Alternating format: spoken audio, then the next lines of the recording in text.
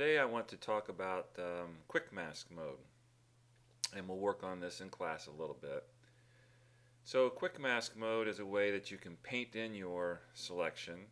You're going to use a paintbrush tool and a little um, Rubylith mask and wherever you paint uh, we can choose for that to be our selection.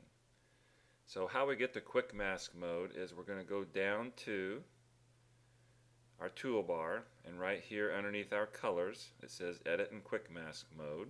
The keyboard shortcut is Q. So all you have to do is tap the Q key on your keyboard and it'll switch you over to quick mask mode.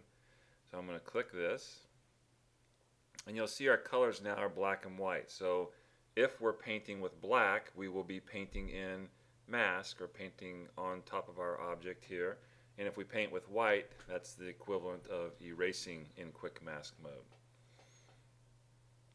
Now I'm going to double click on quick mask button down here and here are our quick mask options. So where I paint will be, uh, I can either choose for the painted area to be the masked area or I can choose it to be the selected area. I'm I like to paint where the selected area is, not the masked area. So if I paint here in on the apple and on the stick, that will be the selected area once I'm done. And the color that we're uh, we paint with will be this color.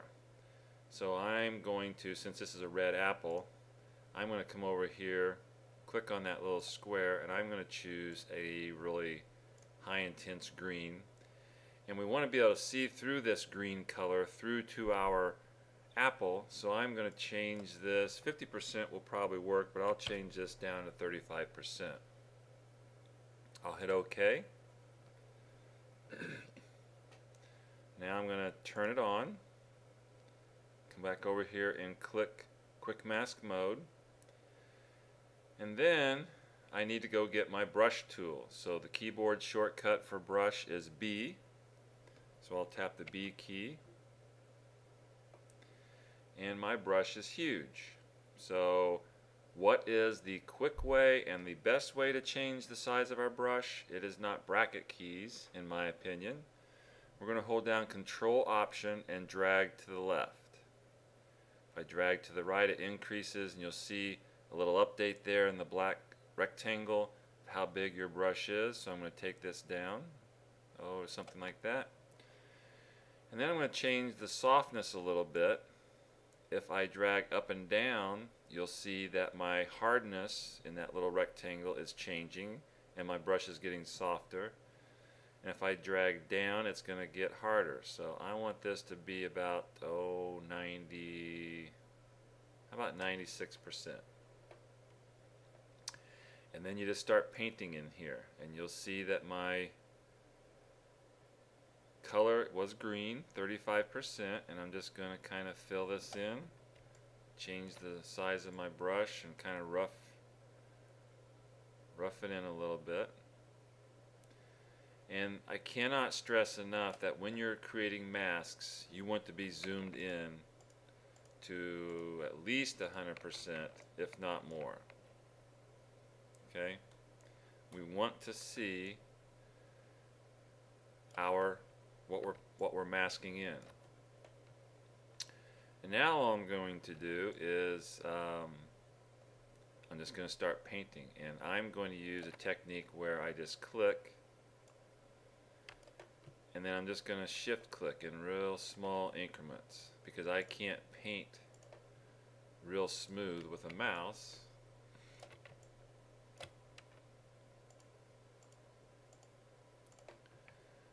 easier for me to just click straight line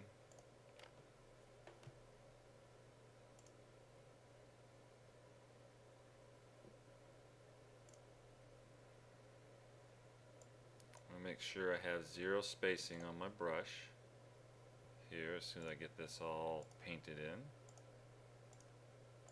And the biggest problem that I see with students is just trying to mask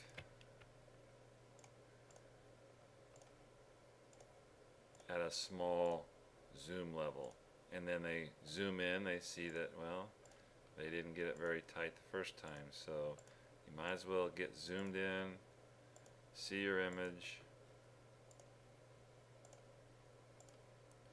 and try to get as nice of a mask as you possibly can. Because that's going to make a difference in your imaging.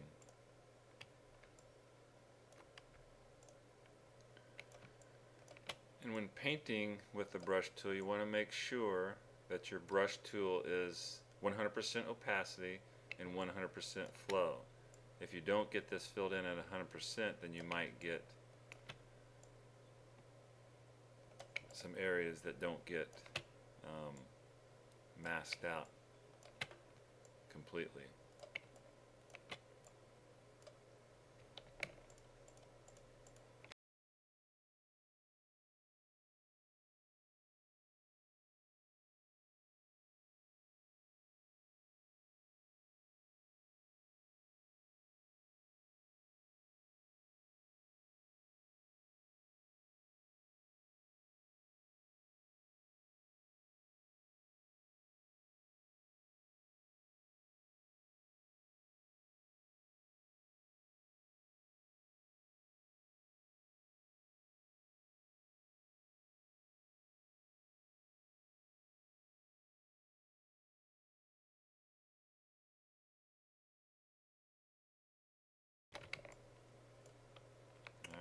So there's my mask that I painted.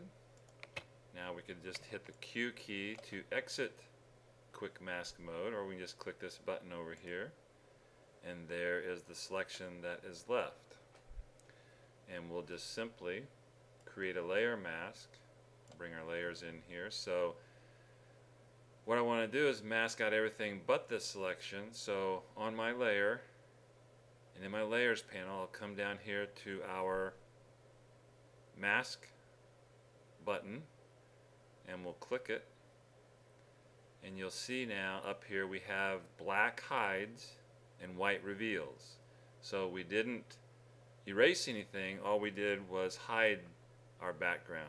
And if I right click on it and say disable layer mask you'll see that our image comes back can also shift click on this layer mask to disable it.